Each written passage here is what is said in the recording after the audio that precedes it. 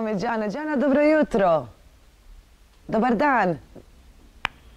Halo. Halo, Bog Đana. Bog, Bog, evo, čujemo se. Čujemo se. Evo, na brzinu smo vas e, i dobili i odmah ubacili u eter. Hvala što ste prestali razgovarati s nama. E, veliki pozdrav iz Zadra. Hvala lipa. Ja se svom Zadru uvijek rado odazovem. Hvala, Đana. Evo, današnja tema nam je volonterstvo, ali sam ja to malo produžila i na humanitarne akcije. E, znamo cijelu priču o zakladi Nora Šitum, e, pa evo, e, htjela sam čuti malo kako danas stojite. Znamo da je osnovana 2013. godine nakon eto tragične smrti, to jest Nore. Kako danas zaklada funkcionira? Jeste li vi zadovoljni svime onime što ste napravili? Pa zaklada kontinuirano radi, znači od te 2013. godine odradili smo do sad brojne akcije u smislu podizanja svijesti o malignim bolestima djece, razna kulturna, sportska događanja koja uvijek imaju za cilj to osvještavanje, ali naravno e, sekundarno je uvijek uz te akcije i prikupljanje sredstava, a sva sredstva koja mi dobijemo od donacija sponzorstava usmjerena su za pomoć e, roditeljima djece čija se djeca liječe od malignih bolesti. Jer potrebe su nažalost uvijek velike.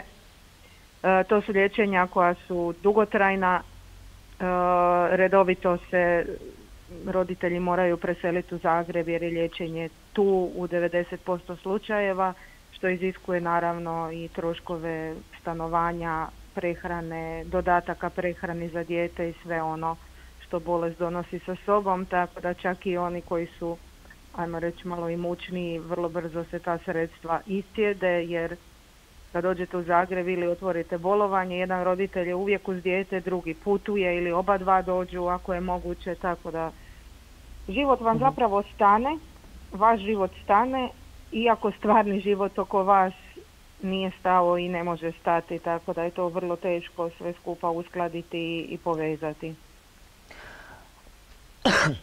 Oprostite. E, odakle vi crpite energiju s obzirom da vi ste doživjeli i proživjeli tu tragediju i dan danas radite s takvim roditeljima. Dakle vam snage da zapravo ste cijelo vrijeme u toj istoj e, priči? Nema tu nekog konkretnog odgovora koji bi vam mogla sad izdvojiti, ali sam ovako kroz ovo iskustvo vidjela da uglavnom imate dvije vrste roditelja nakon što vam se dogodi ta tragedija. Jedna je ona koja ne može prići kilometrima blizu, niti bolnice, niti ono, pomisliti da bi pričala sa roditeljima koji to trenutno prolaze.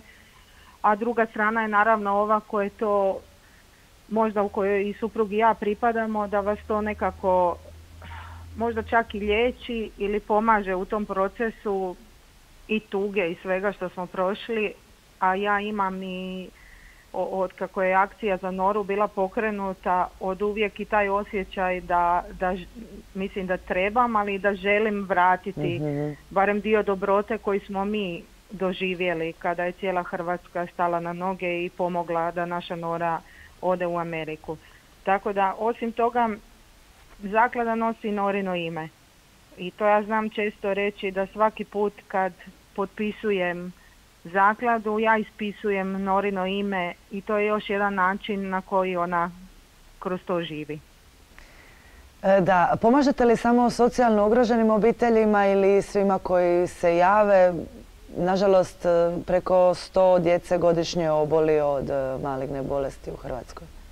Ma tako je. Mislim, ne možete reći da pomažete svima, pomažete onima koji vas kontaktiraju Naravno što se financijske pomoći tiče uvijek je tu naglasak na socijalno najugroženijima zato što oni zbilja nemaju i njihovi izvori financirana, financiranja su gotovo ono nemogući. Međutim pomoć nije uvijek samo financijska.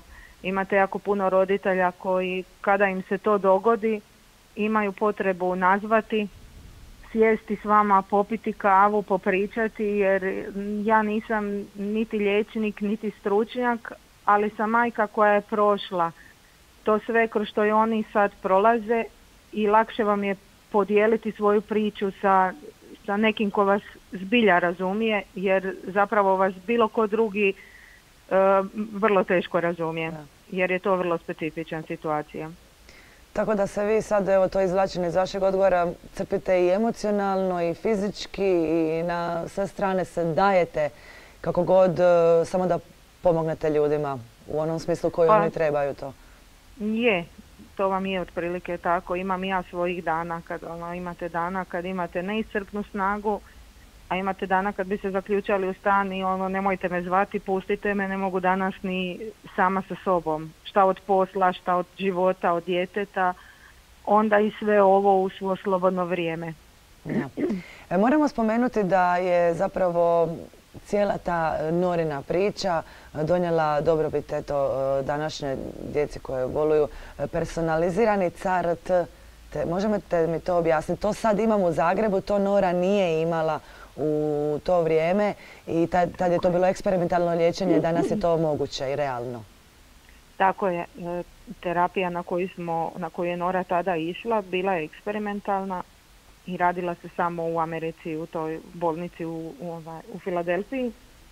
Evo, dosta godina nakon toga hm, terapija je polučila sjajne rezultate i zapravo je postala redovita. Mislim, redovita u smislu onoga kad vi prođete cijeli put kemoterapije, svega što trebate proći i kad više nema uh, izlaza, to je, to je ta zadnja, zadnja stepenica. Mislim, ja, ja molim Boga za dan da ta zadnja stepenica postane prva jer je puno manje zahtjevna ta terapija nego kemoterapija, međutim, to je mhm. neka druga priča. Kemoterapija se još uvijek smatra i dobrom i uspješnom, tako da sumnjam da će u nekoj skoroj budućnosti ovo zamijeniti, no dobro. uh Rebro je postalo referentni centar za ne samo za Hrvatsku nego za cijeli istočni dio Europe. I upravo Rebro. I na Rebru se sada provodi CART-19 terapija. Uh, i HZZO to financira tako da roditelji ne moraju prolaziti sve ono što smo mi prošli da bi došli do te zadnje slamke spasa. Evo mi I naravno mhm. Norina, Norina priča je otvorila vrata jer ja igrom slučaja sam bila involvirana u to i znam proces kada se pregovaralo sa HZZO-om i u principu e, vrlo im je onako plastično prezentirano. To je terapija na koju je išla mala Nora Šitum i odgovor je bio može. Znači nije trebalo pretjerano objašnjavati o čemu je riječ, niti nagovarati, nego je vrlo glatko sve riješeno i evo Bogu hvala, danas je ta terapija dostupna, dostupna našoj djeci ovdje e, bez naplate, što mislim da je sjajna stvar sigur, zasigurno. To je vaše dijelo, tako da hvala i vama, vaše zaklade. Evo, znamo da se zaklada e, financira isključivo donacijama, ali tako, volonterskim i cijelo vrijeme ovdje prikazujemo e, žiro račun e, da se to možda neki zadranin ili ko nas već gleda odvaži i uplati nešto. Kako stojite s te strane, imate li tu podršku? Znam da stalno organizirate razno razne turnire, imate li što u najavi da možemo eto, ljude i obavijestiti, kako vam malo pomoć, pogurat vas? Pa u principu sljedeće što nam je u najavi je Zlatni rujan. To je manifestacija koju radim e, u Maksimiru najčešće i cijeli program je prilagođen djeci. Znači dječje predstave, igraonice, radionice, likovne i slično. rujan zato što je mjesec podizanja svijesti o malignim bolestima djece. Tako da nam je zbog podizanja svijesti općenito o, o, o tom mislim problemu i o toj bolesti taj nam je mjesec e, značajan. A onda kroz godinu ovisno o pandemiji, o vanjskim okolnostima kao i svi prilagođavamo se.